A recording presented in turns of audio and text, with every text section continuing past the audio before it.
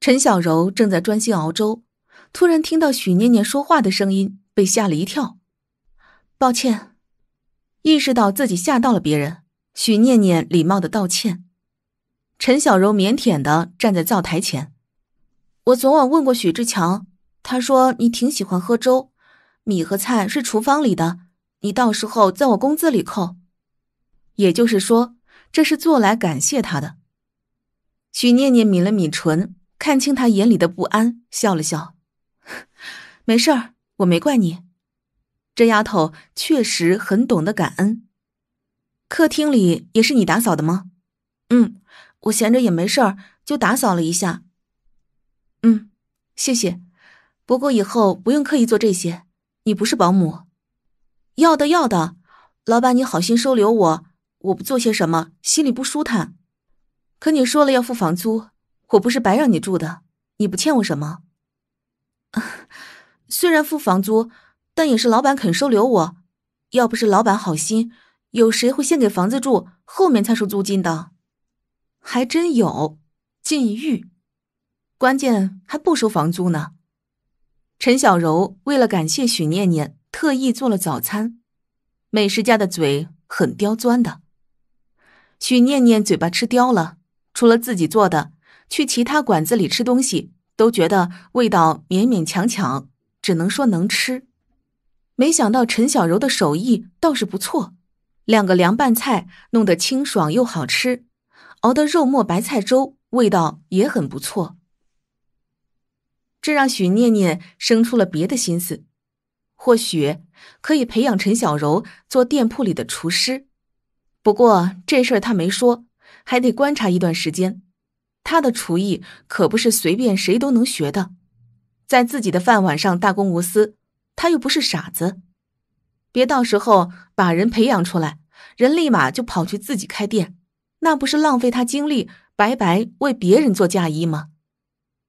这个想法，许念念埋在心里，打算过段时间再看。店铺里的生意一天比一天好。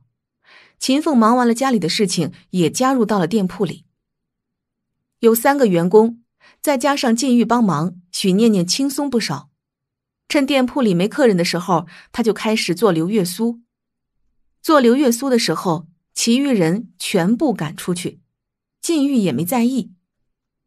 日子就这样在忙忙碌碌中度过，一晃过了七八天。中途，许念念卖了三次流月酥。每次都是两千个直接卖完。前两天禁欲的勤务员找到他，部队里对他的安排已经下了通知，去京都那边。不过得等到半年以后，因为他身体的体检报告，他旧伤还没痊愈。许念念这里请了员工，店铺里不会忙不开手。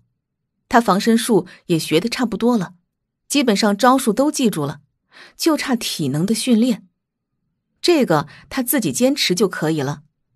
他记忆特别好，教过一次的东西马上就能记住，学习武术的速度也很快，是块学武的好料。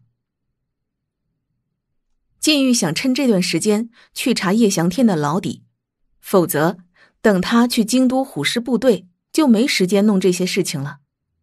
好在查叶翔天的事情，他不用跑太远。就是不能在店铺里给他帮忙了，三两天还得回来一次，不然到时候媳妇儿跑了都不知道上哪儿后悔去。店里还有两三桌客人，属于比较闲的阶段。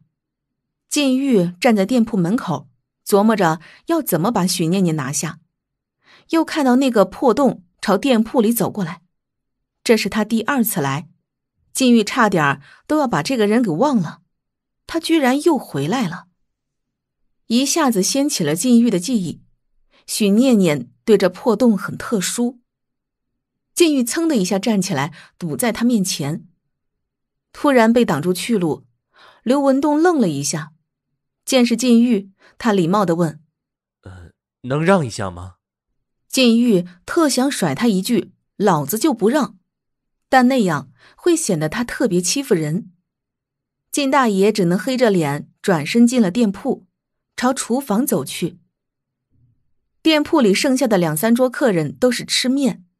许念念空闲下来，正要出去透透气，被金玉拉住了：“你干什么呀？我出去透透气。”我饿了，给我炒菜。靳大爷发号施令，脸色黑沉，突然又觉得态度不对，软和了语气：“我好饿，给我做点吃的。”同样的一个意思，靳大爷表演了一出人格分裂的大戏，相当好看。曲念念看得叹为观止。